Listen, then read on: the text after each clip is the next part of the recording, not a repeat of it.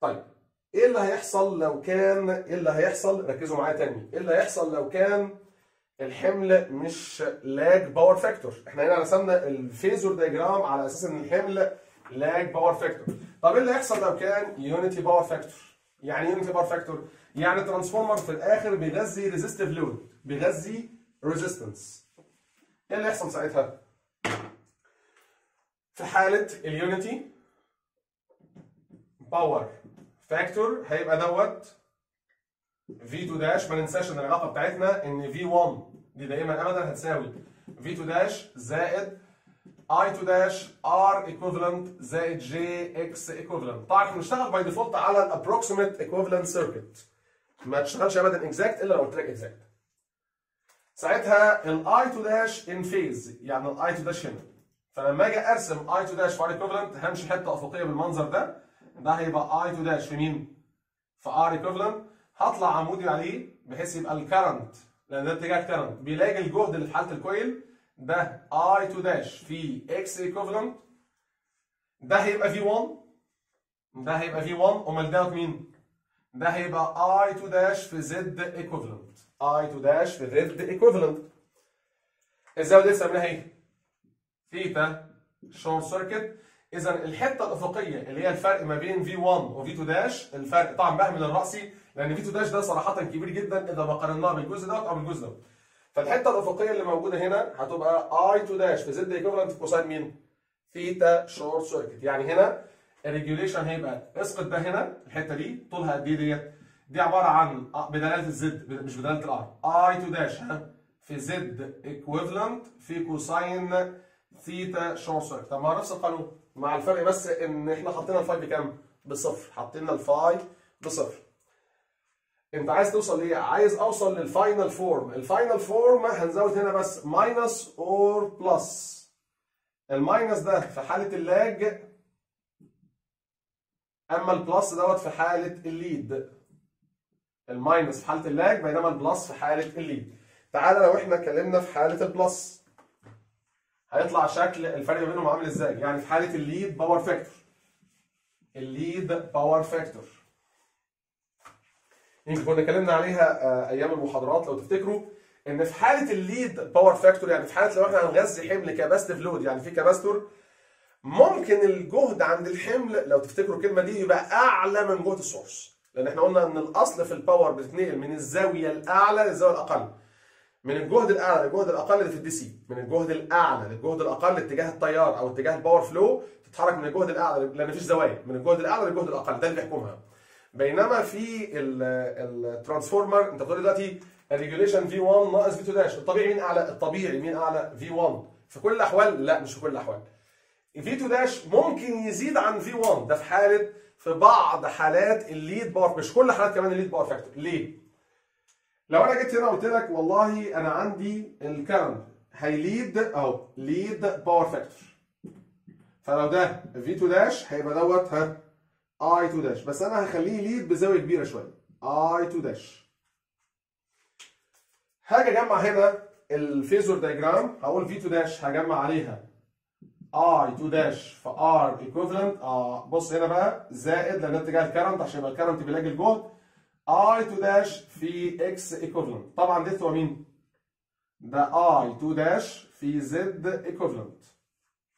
وبالتالي هنا ده هيطلع لي V1 ممكن بالبرجر تيجي ترسم تلاقي إن V1 فعلا كمقدار قل عن V2 dash يبقى في بعض الحالات ممكن ال regulation يبقى سالب ممكن ال regulation يبقى سالب. الطبيعي إن ال regulation يبقى موجب. إمتى يكون موجب؟ لو الحمل lag power factor لو الحمل lag power factor لو الحمل unity power factor في بعض حالات ال lead. يعني مش أول ما هي lead يعني لو هنا مثلا ب lead بخمس درجات هتلاقي برضو ال R جت هنا وال X جت هنا هيخلي إن معيار V1 أكبر من V2 dash لكن لو ب lead مثلا بزوايا كبيرة شوية لا ساعتها ممكن إن V1 يكون أقل من V2 dash بالمناسبة هيبقى الإسقاط بتاعك هنا كام بقى؟ آه تعالى هنا. الزاوية ديت هي مين؟ هي ال phi بينما ديت ها؟ theta short circuit theta short circuit. إذا لو جيت أسقطت دوت هنا لو جيت أسقطت دوت هنا آه الزاوية دي تبقى كام؟ ديت ممكن نقول آه 180 ناقص phi تاني. دي تبقى 180 دي 90 درجة. الزاوية دي تبقى 180 دي 180 ناقص theta short circuit. ناقص phi يعني الاثنين هي أو ممكن ناقص circuit زائد phi بالمنظر ده دي الزاوية ديت. طب ديت 90 يطلع لي إن الزاوية ديت كام؟ ديت 90 وديت 180 المفروض مجموع زوايا المثلث كلها 180 يعني المفترض لو أنا عايز أجيب الزاوية اللي فوق ديت هسميها X مثلا مؤقته تطلع لي الزاوية X ديت بكام بقى؟ الزاوية X ديت هتساوي. مجموع زوايا المثلث كلها متفقين 180 هطرح منها 90 وهطرح منها الزاوية ديت اللي هي minus 180 زائد theta short circuit زائد أو ناقص phi أو هتبقى زائد هنا طبعا لأنها بطرح منها. ال 180 هتطير مع ال 180 هيتبقى لي theta short circuit زائد phi ناقص 90 theta short circuit زائد phi ناقص 90 ديت هي الزاوية اللي هنا. theta short circuit زائد phi minus 90 ناقص 90 ده هيخلي الزاوية ديت الزاوية ديت تطلع لي اللي هي طيب تعالوا نجيبها كده بدلالتها. اسقاطها هنا هيبقى كام؟ هيبقى cosine theta short circuit زائد phi هتيجي تقول لي sine ما عشان هنا في minus 90 ما انت لما تيجي تقول لي الحتة ديت هي sine الزاوية دي sine الزاوية دي يعني I2 dash في Z equivalent في sine الزاوية دي. sine الزاوية ديت sine الزاوية ناقص 90 هي cosine الزاوية.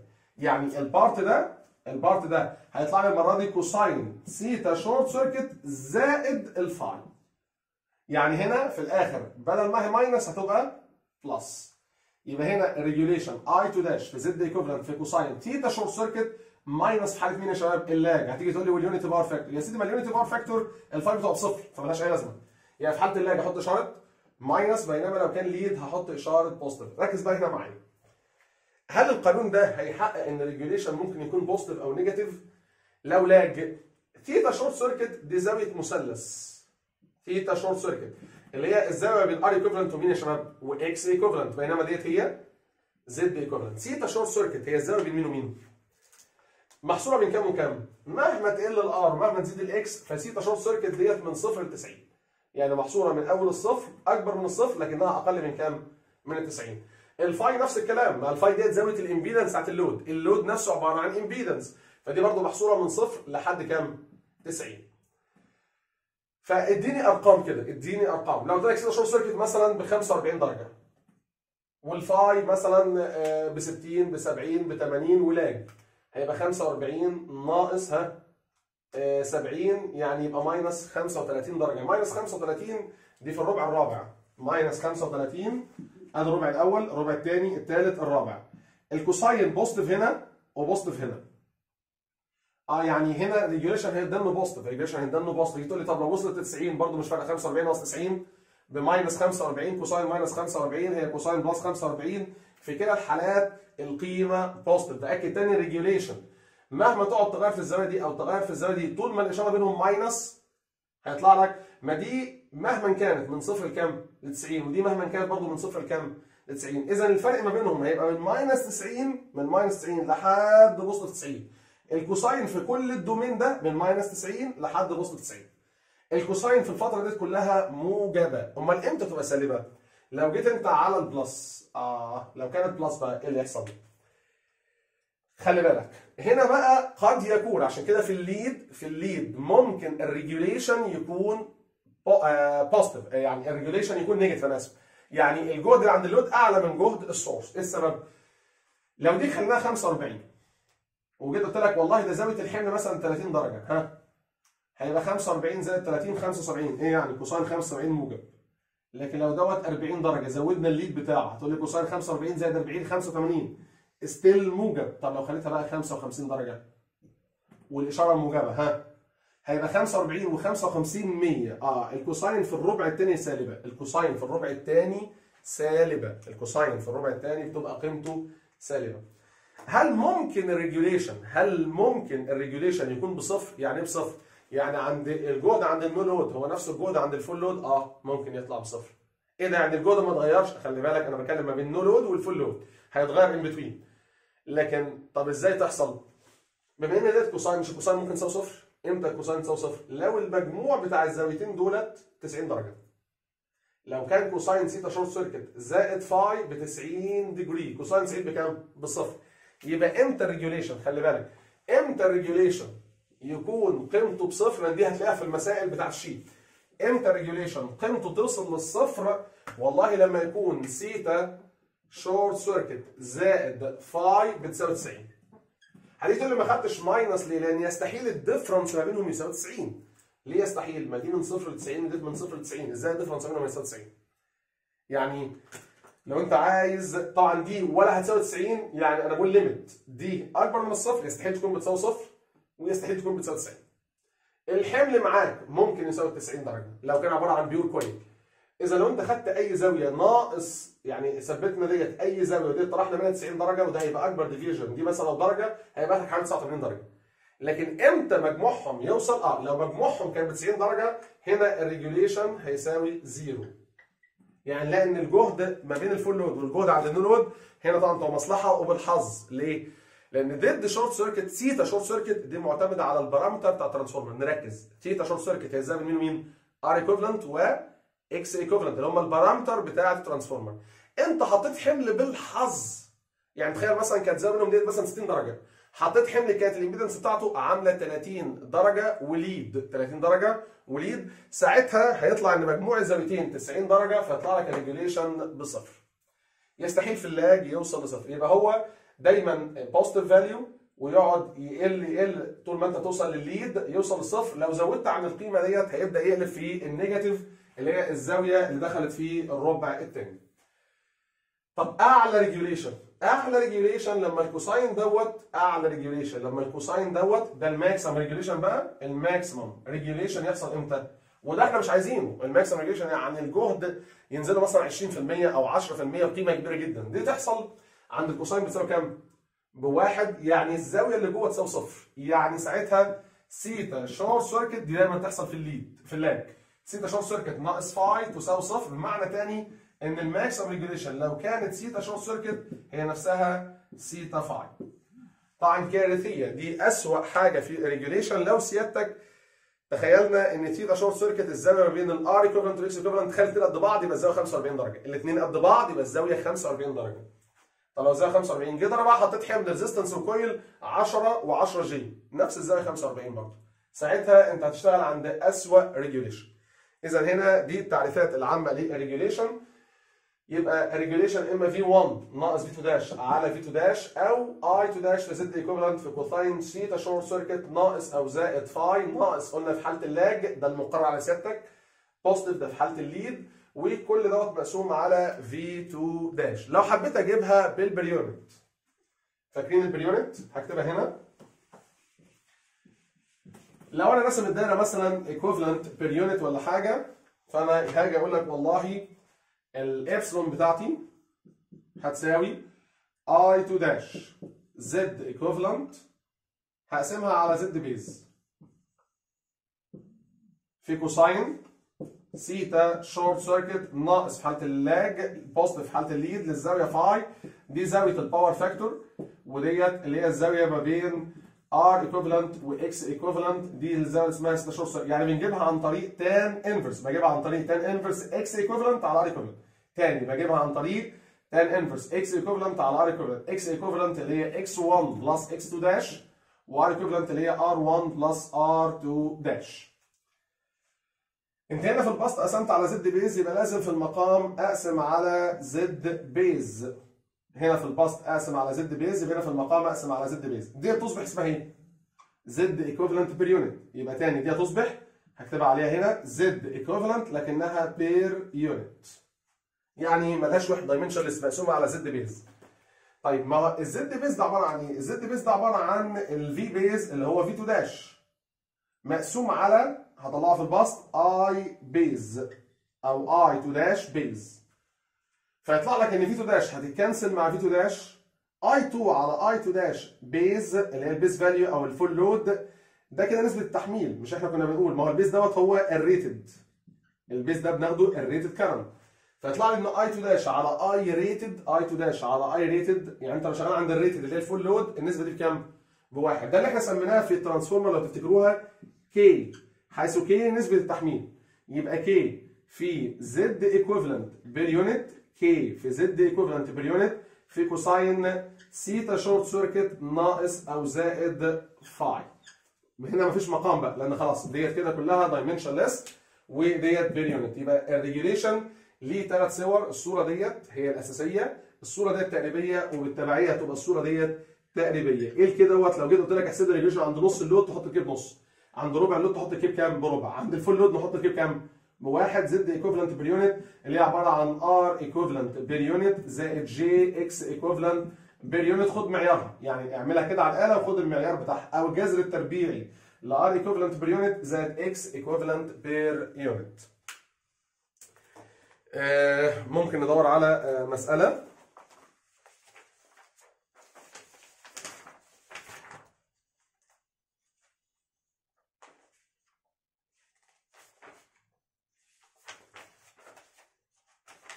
في الجزء دوت.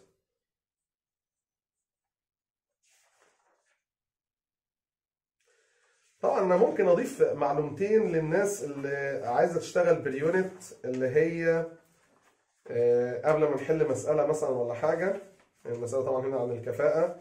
كان في طبعا مسائل في ال sheet كان فيها مطلوب اللي هو regulation وكنا إحنا بنفوتها فتقدر دلوقتي تحلها وأنا هعمل لكم فيديو تاني هحل لكم فيه إن شاء الله مسائل على ال regulation ممكن نحل هنا regulation عادية المسألة ديت مش صعبة ولا حاجة. بس طبعا هي ديت فيها بقى test ومش عارف إيه إحنا كنا عايزين مسألة تطبيق مباشر على ال regulation لكن برضو هضيف معلومتين مهمين جدا. إيه المعلومتين المهمين جدا ديت؟ فاكرين إحنا قلنا لما الكفاءة ده برضو ممكن تضيفه لقوانين الكفاءة بس طبعا كمان شرحت الكفاءة قبل ال per unit فما كانش ينفع أتكلم عليها. إحنا قلنا إن ال eta بتساوي K في S full load أو S rated في cosine phi اللي هي زاوية ال power factor على K اللي هو نسبة التحميل لسه كاتبينها النهارده. في S full load في cosine phi زائد K squared في ال P copper full load زائد ال K squared أو أنا P iron دي بالنسبة لي آه، القيمة بتاعتي. بي كبر فول لود P copper full load بكام P copper full load P copper عند ال full load أنا عايز أشتغل بال per unit عايز أشتغل بال per unit هلاقيها عبارة عن I 2 dash بتاعت ال full load أو ال base أو ال rated تحب تسميها زي ما أنت عايز. تسميها تسميها rated تسميها base تسميها full load square طبعا. مضروبة في R equivalent مضروبة في R equivalent إيه اللي يحصل؟ إيه اللي يحصل؟ لو أنا حبيت أجيب P copper full load بس عند البريونت البريونت هقسمها على ال S rated هقسم المعادلة كلها أو هقسمها على ال S rated لو جيت قسمت ديت على ال S rated على ال S full load أو ال S rated هلاقي ديت عبارة عن I 2 dash full load squared أهي squared أهي في R equivalent هتلاقيها غريبه جدا. إيه هي؟ ال S ديت ما هي إلا S full load بكام S full load؟ ما دي عبارة عن I 2 dash squared full load في Z base أو ال I base تربيع في Z base هتطير ال I تربيع. مع ال I تربيع يطلع لك R equivalent على Z base ده عبارة عن R equivalent per unit وده يؤكد إن ال per unit ملوش وحدة. ليه؟ لأن ديت power ديت power وديت impedance لكن منها هنا per unit وهنا per unit خلاص هم بيتساووا كنسب بيتساووا كنسب. إيه ده؟